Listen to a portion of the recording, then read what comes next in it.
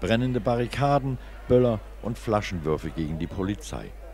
Lange hatte es so ausgesehen, als könnte es nach dem Hamburger Schanzenfest in diesem Jahr friedlich bleiben. Doch dann kam es doch noch zu den befürchteten Ausschreitungen. Die Polizei setzte Wasserwerfer gegen die Randalierer ein. Etwa 30 bis 40 zum Teil vermummte Störer hatten gegen 2 Uhr eine Sparkassenfiliale beworfen und versucht, die Tür aufzubrechen. Daraufhin rückten die Beamten vor und wurden aus einer Gruppe von etwa 300 Leuten heraus mit Flaschen, Steinen und Böllern angegriffen. Daraufhin nahm die Polizei 13 Störenfriede vorläufig fest. Die Beamten waren zunächst im Hintergrund geblieben, um keine Randale zu provozieren, auch nachdem das Feuer vor der Roten Flora entfacht worden war und immer höher wurde.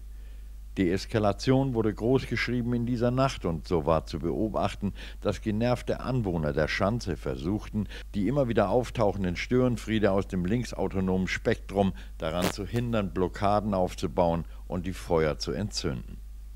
Bei Messerstechereien nach dem Fest wurden zwei Männer verletzt. Ein 29-Jähriger erlitt nach Mitternacht vor der Roten Flora vier Stiche in den Oberkörper und wurde laut Polizei noch in der Nacht notoperiert. Vernehmungsfähig sei er jedoch noch nicht. An gleicher Stelle war kurz zuvor ein 27 Jahre alter Mann vermutlich durch einen Messerstich oberflächlich verletzt worden. Nach eigenen Angaben hatte er versucht, einen Streit zu schlichten. Erst am frühen Sonntagmorgen beruhigte sich die Lage. Die Stadtreinigung beseitigte die Trümmer eines Schanzenfestes, das wie in den vergangenen Jahren zuvor friedlich begonnen und im Krawall geendet hat.